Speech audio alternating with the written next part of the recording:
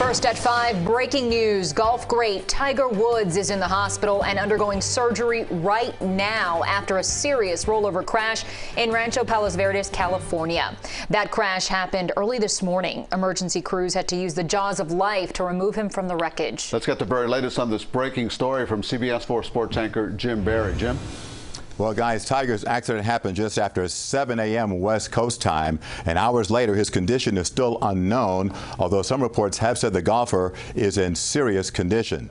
Woods' car went off the road about 40 miles south of Los Angeles. It rolled over before landing on its side about 20 feet off the road. The car, as you can see, was mangled, with the front end destroyed and pieces of the vehicle strewn alongside. Woods had to be pried from the vehicle with the jaws of life. He was the only person inside the car. Authorities still are unsure what caused the accident, which is still being investigated at this hour. Woods was taken to a nearby hospital, and a short while later, his agent, Mark Steinberg, released a statement saying Woods was in surgery for multiple leg injuries. There has been no update on Woods' condition since.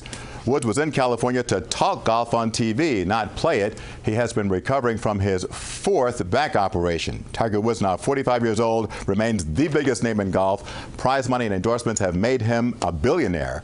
After a series of injuries and personal setbacks, it seemed his career might be over, but he proved otherwise by winning the Masters in 2019, his 15th major title. Here's how one of his peers on the PGA Tour reacted to news of Tiger's accident.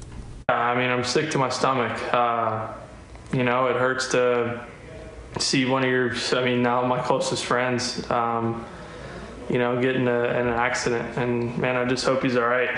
Um, just, uh, just worry for his kids. You know, I'm sure they're struggling. Now, just yesterday, retired Heat star Dwyane Wade hammed it up with Woods at Rolling Hills Country Club in Southern California.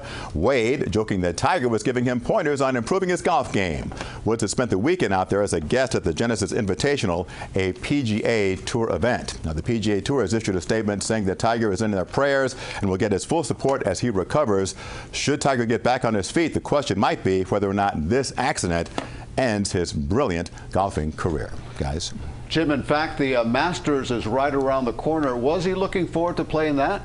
Well, he told Jim Nantz of CBS Sports uh, just this weekend that he had his fingers crossed that he hoped that he could play, but he was very non-committal because Tiger uh, was trying to take it slow because he's been through this process before. As we know, he's had to take a lot of painkillers because of recurring back issues, and so he didn't want to rush it. So obviously that was before all of this happened. Now, who knows what his status might be? Well, a lot of people hoping and praying that he is okay. We'll yeah. be following it. Jim, thank you very much.